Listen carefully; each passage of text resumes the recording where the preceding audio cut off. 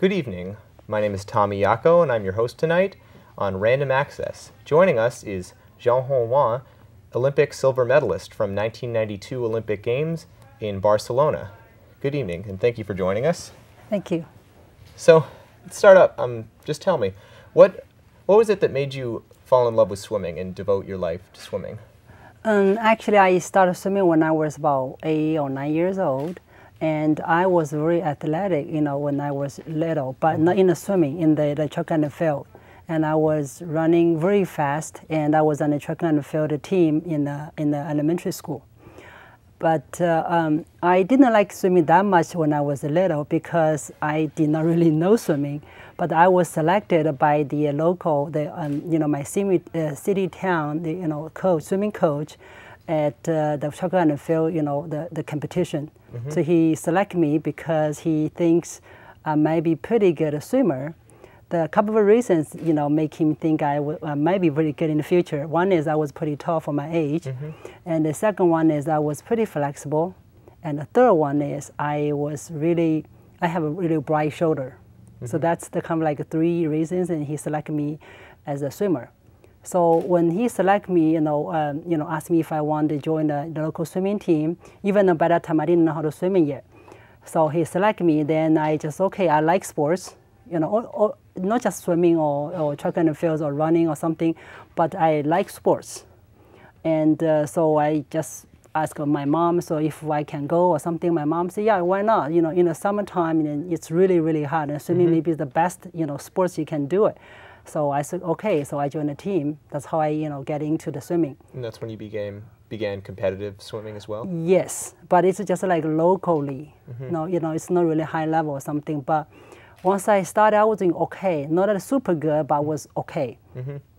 And uh, so after a year, about a year or a half, and I was selected by higher level, which we called the sports center yeah. or sports school, you know, in Nanjing, which is the about two hours driving from my hometown. Okay. So I actually I left my home when I was about 12 years old.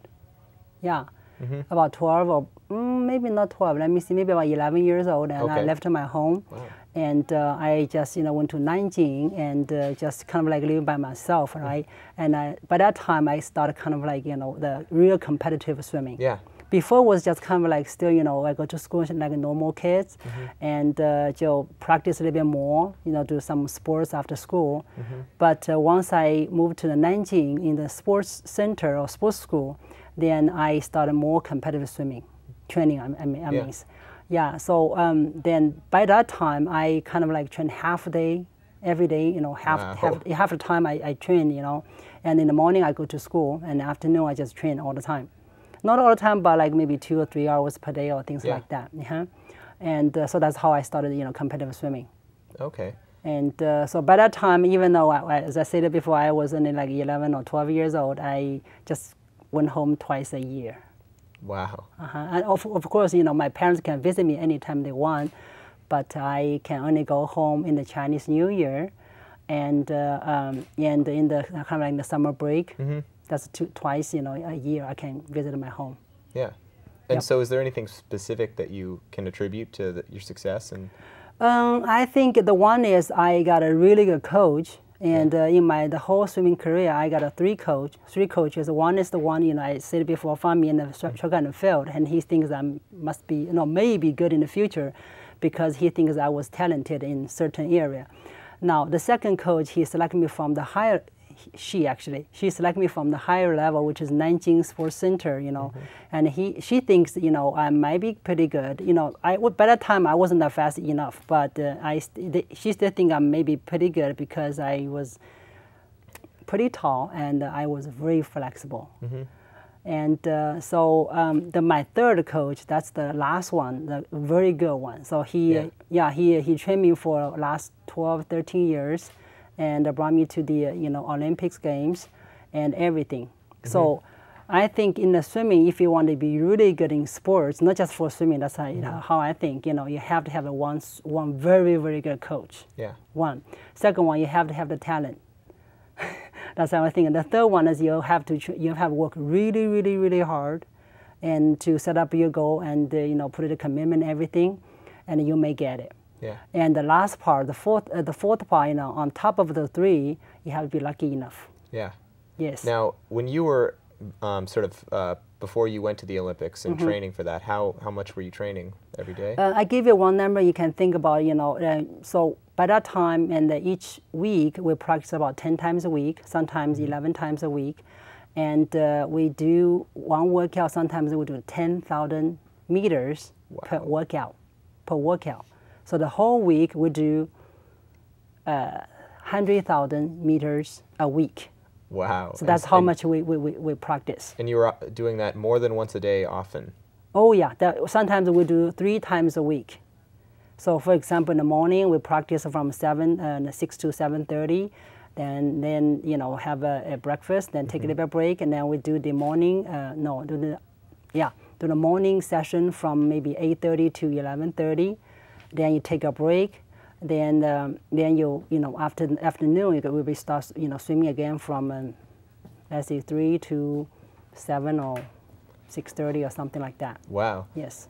And uh, what can you say is your proudest achievement in competitive swimming? Uh, my highest achievement will be the uh, the Olympic gold medalist, um, gold medal. But uh, yeah, my experience, you know, uh, my uh, what was it, my most enjoyment for the uh, the sport for swimming is the 1992 um, the Asian game. The reason I say that because by that time I, I got everything I want. I won the, the four gold and I won silver. You know, well, I won all the events, individual and uh, relay relay events, I won everything, and I was ranked the top one in the whole world in the 100 butterfly and the 200 butterfly.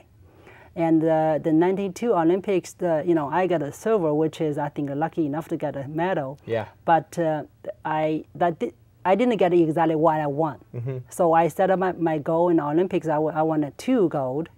I didn't get none of them. Oh. And I, I set up a goal to break, you know, uh, the a record. I didn't get it either. Mm-hmm. So that's why I said the, the I, I did my best, but I didn't get what I want. But uh, the more valuable for by doing this is because I went through everything. You know, it's the hardest one I think I think in my life. I went through everything.